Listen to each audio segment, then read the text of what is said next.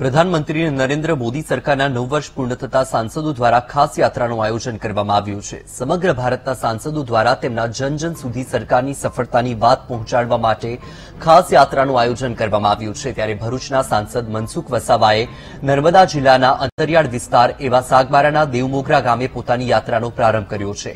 આજથી શરૂ થનારી આ યાત્રા એક માસ સુધી ચાલશે. આ યાત્રા નર્મદા અને ભરૂચ જિલ્લાના વિવિધ ગામોમાં ફરીને મોદી સરકારની સિદ્ધિઓનો પ્રચાર કરશે.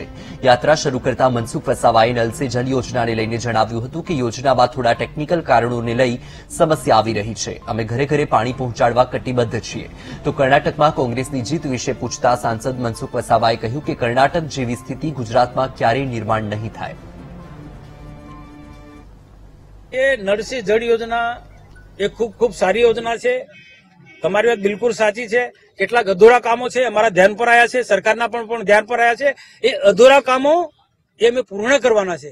હમણાં થોડા દિવસ પહેલા અમારી જિલ્લા કક્ષાની મિટિંગ મળી, ત્યાં પણ આ પ્રશ્ન અમે છેડ્યો હતો.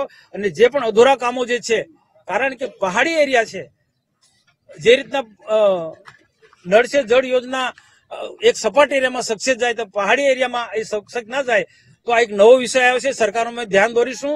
તો પીવાના પાણીને લગતા કોઈ પણ પ્રકારના પ્રશ્નો હશે, નલ સે જલ યોજના આવનારા દિવસોમાં જ્યાં જ્યાં નાની મોટી ક્ષતિઓ છે, એનો સ્ટડી કરીને, અભ્યાસ કરીને, એને પૂર્ણ રીતના એ ગામોને નળ જળ યોજના થકી પાણી મળે, એના માટે પૂરેપૂરી અમે કાળજી રાખવાના છે કર્ણાટકનો વિષય અલગ છે.